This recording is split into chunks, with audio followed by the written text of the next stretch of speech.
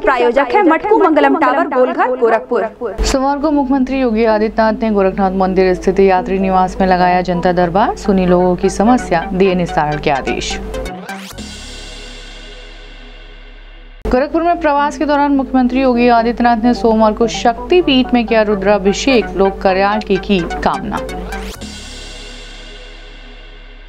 मुख्य विकास अधिकारी की अध्यक्षता में संपन्न हुई राष्ट्रीय आजीविका ग्रामीण मिशन और मनरेगा की समीक्षा बैठक। महिला समूहों को रोज़गार उपलब्ध कराकर बचत कराने तथा मनरेगा के तहत रोज़गार उपलब्ध कराने के दिए निर्देश।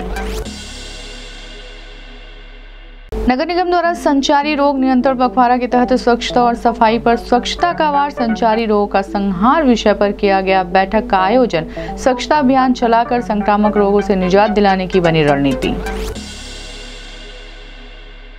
इलेक्ट्रिक बसों के लिए महसरा में बनाए जा रहे हैं चार्जिंग स्टेशन का नगर आयुक्त ने किया निरीक्षण, कहा 25 सितंबर को प्रधानमंत्री द्वारा हरी झंडी दिखाने के साथ महानगर में 25 बसों का शुरू हो जाएगा संचालन। नगर निगम में शामिल 32 गाँवों के लोग भी उठा सकेंगे इलेक्ट्रिक बस सेवा का लाभ।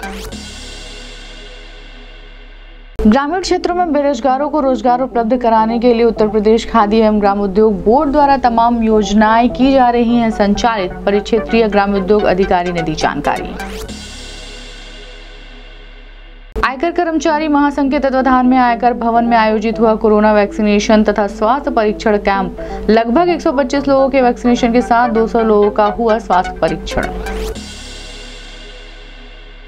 राज्य विद्युत परिषद जूनियर इंजीनियर संगठन के प्रांतीय नेतृत्व के आह्वान पर जूनियर इंजीनियर संघ ने विद्युत महाप्रबंधक कार्यालय के समक्ष किया 24 घंटे का उपवास। केंद्रीय उपाध्यक्ष ने कहा, मांगे पूरी नहीं हुई तो शक्ति भवन पर किया जाएगा क्रमिक धरना प्रदर्शन। बारह सूत्रीय मांगों को लेकर उत्तर प्रदेश माध्यमिक शिक्षक संघ ठकुराई गुट ने जिला विद्यालय निरीक्षक कार्यालय पर किया प्रदर्शन। पुरानी पेंशन व्यवस्था लागू करने सहित अन्य मांगों को शीघ्र पूरा करने की की मांग। को जिला अस्पताल सहित जनपद में 127 केंद्रों पर चौवालीस लोगों को किया गया कोरोना रोधी टीकाकरण। फ़र्स्ट डोज लेने वालों में पैंतीस हज़ार तीन सौ उन्नीस तथा सेकेंड डोज लेने वालों में आठ हज़ार सात सौ नौ लोग रहे शामिल। सीएमओ ने कहा, कोविड नियमों का पालन करते हुए अवश्य लगवाएँ टीका जीत का। लगातार गर्मी और उमस की मार झेल रहे लोगों को सोमवार को ही हल्की बारिश से मिली राहत। आपदा विशेषज्ञ ने कहा, मौसम विभाग के अनुसार कुछ दिनों तक छिटपुट बारिश के आसार भारी वर्षा की नहीं है संभावना। दहेज हत्या के आरोपी दो वांछित अभियुक्तों को बासगांव पुलिस ने किया गिरफ़्तार, भेजा जेल।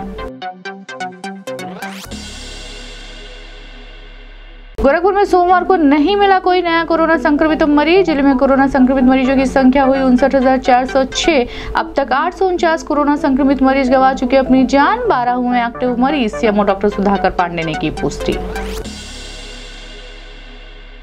विकास खंड खोराबार के राजस्व ग्राम नौवा ओवल के स्थानीय नागरिकों ने रिंग बाँध की मरम्मत कराने की मांग को लेकर जिलाधिकारी को प्रेषित किया ज्ञापन। बाँध की मरम्मत के साथ चौड़ीकरण और उच्चीकरण कराने की की मांग।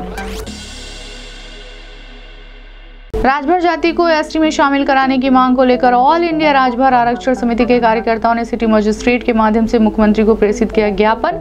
राजभर समाज को अनुसूचित जनजाति में शामिल करने की की मांग। और जनपद की तीनों नदियों के जलस्तर में तेज़ी से गिरावट है जारी। आपदा विशेषज्ञ ने कहा, ज़िले के सभी तटबंधों की स्थिति है बेहतर। जिला प्रशासन द्वारा अब तक करीब चौहत्तर हज़ार राशन किट का किया जा चुका है वितरण।